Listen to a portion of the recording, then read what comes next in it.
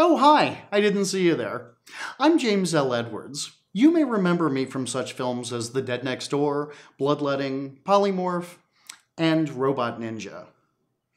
Yeah, sorry about that last one. Anyway, the reason I've asked you to join me is I'm about to embark in what could be the greatest moment of my cinematic history, and I'd like you to be a part of it. Since 1985, you've mostly seen me work as an actor and screenwriter. Well, this past October, I wrote a screenplay that I not only fell completely in love with, but I'm confident enough in that I'd like to make that my directorial debut. An erotic horror film called Her Name Was Christa. Bottom line, this movie has everything. I mean, we're talking about a tragic love story, necrophilia, psychosis, nudity, prostitutes, gore, erectile dysfunction, surprise cameos, you name it, it's here. You can pretty much think of this as the notebook for necrophiles. When I first started writing Christa, I was trying to figure out what elements of my past works that audience members seemed to enjoy the most. What kept coming up was the dynamic of being teamed up with former Tempe actress Ariauna Albright. Fans and reviewers alike of our earlier films would constantly bring up the chemistry between the two of us no matter what film we would be doing together.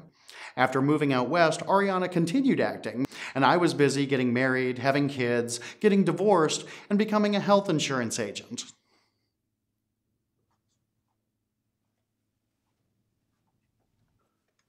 Anyways, two decades later, better late than never.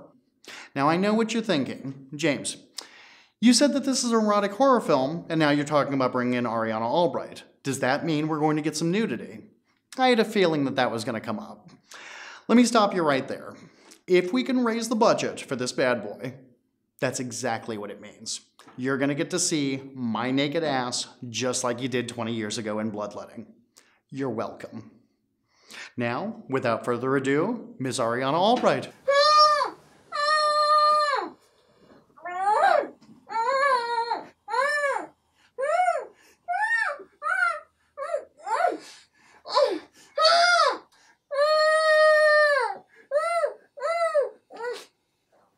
Ow! Edwards, is that you? Ari, how have you been, kiddo? Where the heck am I? It's like the set of eyes wide shut. Look, Lonnie, what is this about? If it's a movie, I've already told you I'm not doing another stupid movie. Well, it was probably the only way I could get you in here. Come on, this is for a movie. We're going to work together again. You know, what are you directors going to learn? You can't just keep kidnapping me in the middle of the night and expect me to do your movies. I'm a star, you know. I, I'm not going to do it. Not again. I don't think. All right, maybe you're not understanding. This is for a paying gig. We're trying to raise money so you can get paid. Hmm? Paid? Oh, I'm getting paid? Well, I could think about it. I might be able to clear my schedule. Probably. I think. I mean, hey, hey. Oh, I said we could talk about it. Jackass.